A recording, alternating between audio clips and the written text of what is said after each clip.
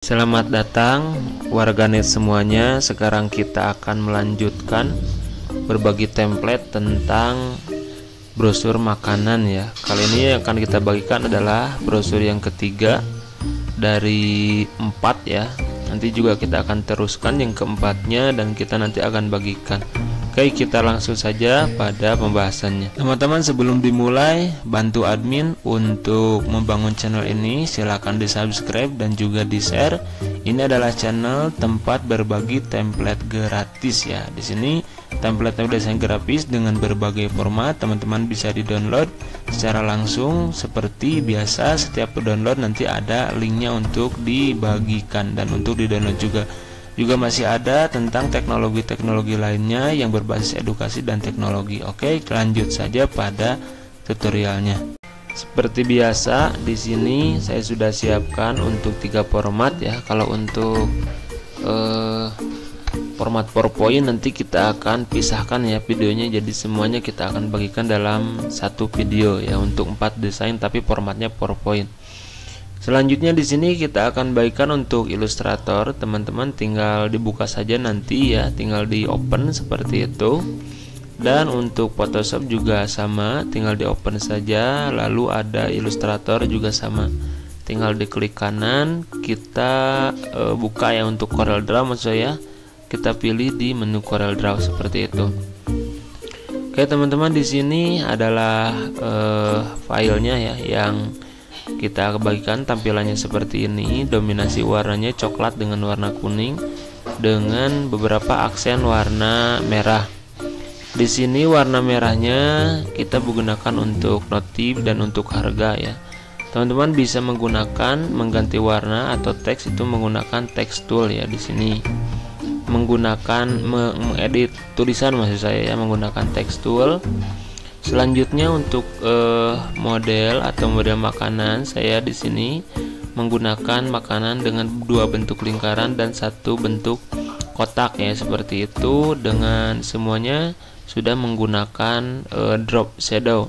Dan ini dibuat uh, saya ambil dari Unflash. Untuk gambarnya teman-teman dengan menggunakan format PNG ya seperti ini. Kalau JPG nanti warnanya menjadi belakangnya ada putih ya seperti itu Selanjutnya teman-teman ada beberapa uh, font yang memang saya ambil dari Google Font itu sudah menjadi cup. Jadi nanti teman-teman silahkan dicari ya fontnya yang cocok itu dari Google Font dengan kategori handwriting ya. Kalau tidak salah bentuk-bentuk seperti ini namanya handwriting seperti itu. Selanjutnya teman-teman untuk merubah warna itu bisa menggunakan uh, swatch ya. Jadi caranya kita blok dulu seperti itu. Setelah itu silahkan pada menu swatch kita pilih folder new color group ya seperti itu. Setelah sesudah itu di sini boleh diberi nama ya atau diambil uh, itu juga tidak apa-apa. Kita tinggal di oke. Okay. di sini teman-teman kebetulan saya sudah melakukannya. Ini yang kedua kali. Ini adalah palet warna ya palet warna yang ada di dalam desain ini.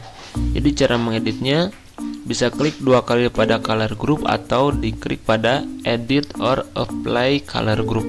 Kita pilih saja edit or apply color group. Di sini pada palet colornya teman-teman ada perubahan ya dari warna abu ya ini menjadi warna hitam jadi kita defaultkan dulu ditarik saja ke sebelah kanan cara merubahnya ditarik seperti itu menjadi warna kembali ya warna sesuai dengan awal. Setelah itu teman-teman bisa merubah warnanya pada menu edit ya di sini eh, kalau yang biasa saya lakukan yang pertama adalah menentukan dulu konsep atau dominasi warna ya. Misalkan kita akan menggunakan untuk kue ya biasanya kue itu warna coklat ya. Kita pilih dulu di sini. Untuk warnanya misalkan warna kuning oke tidak terlalu menyala. Dengan si warna merahnya itu diganti menjadi warna coklat. Jadi cara mengganti warna coklat warna merahnya ya menjadi warna coklat itu teman-teman tinggal diklik saja. Dan di sini tinggal di drag oke. Teman-teman ini seperti itu. Kalau teman-teman uh, ingin merubahnya juga bisa menggunakan warna atau mode warna yang lain ya. Ada HSB ada RGB ya. Kalau saya yang biasa gunakan untuk printing itu biasanya CMYK kalau HSB itu tidak ada K nya ya tidak ada warna hitamnya. Jadi ini merubahnya langsung pada hue saturation dan brightness ya. Saturation dan brightness seperti itu ini tinggal diubah saja oleh teman-teman. Silahkan ini untuk kepekatan eh, apa gelap terangnya seperti itu. Itu mudah sekali untuk di Adobe Illustrator kita tekan OK dulu tekan yes dan ini hasilnya. Ini adalah perubahan warnanya. Simpel sekali yang warna merah sudah menjadi warna eh, coklat ya. Selanjutnya di pada bagian Adobe Photoshop teman-teman. Ini sudah saya ubah ya untuk sebelumnya. Kalau untuk defaultnya itu sama seperti ini. Kalau cara merubahnya teman-teman kita coba workspace nya kita reset dulu ya. Barangkali teman-teman masih dalam kondisi default untuk uh, worksheetnya kita masuk pada menu layer teman-teman di sini. Untuk objeknya itu sudah di dalam bentuk grup ya. Jadi tinggal di uh, ungroup layer saja. Oke. Setelah itu pada menu ungroup layer kita ubah ya di sini. Cara merubah warnanya itu bisa menggunakan hue saturation. Dengan catatan uh, nanti hue saturation ini akan merubah ke dalam layer di bawahnya ya. Kita coba diperhatikan sedikit teman-teman bahwa di sini ya ada uh, hue saturation. Kalau kita geser pada saturasinya otomatis si gambarnya itu akan menjadi uh, warnanya maksudnya ya. Warnanya bisa menjadi lebih pekat atau lebih hilang ya saturasinya menjadi berkurang seperti itu. Untuk merubah warna pun teman-teman tinggal digeser saja hanya kalau misalkan ingin merubah warna sebagian, maka harus mem harus memisahkan ya. Contoh eh, kita coba pada objek yang ini ya. Pada objek kita tidak akan diubah dulu warnanya. Jadi eh, kalau diubah warna secara keseluruhan otomatis tidak menjadi natural ya. Contoh kita masukkan yang ini ya, yang gambar makanan ini. Modelnya kita naikkan ke atasnya jadi tinggal kita drag saja. Terus di drag sampai berada di atas saturasi. Jadi saturasi dulu baru di atasnya ada model atau objek yang warnanya tidak ingin berubah. Jadi ketika kita diganti teman-teman itu si nah, bisa dilihat. Ini warnanya tidak berubah. Ini berubah karena ada di bawah saturasi. Jadi nanti teman-teman supaya tidak berubah silahkan warna objek yang ini tinggal dinaikkan saja ya seperti yang tadi. Di drag terus ke paling atas di atas e, saturasi bisa dilihat ini warnanya sudah tidak berubah. Untuk Corel Draw sendiri itu e, tidak jauh beda ya ini sepertinya sama saja seperti ilustrator hanya poin-poinnya yang berubah. Hanya eh, pada bagiannya teman-teman pada tulisan teks di sini jadi menghilang ya. Pada dasarnya tidak menghilang kita coba di ungroup dulu.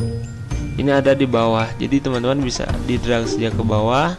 Terus pada bagian teksnya supaya lebih rapat kita bisa menggunakan shape tool.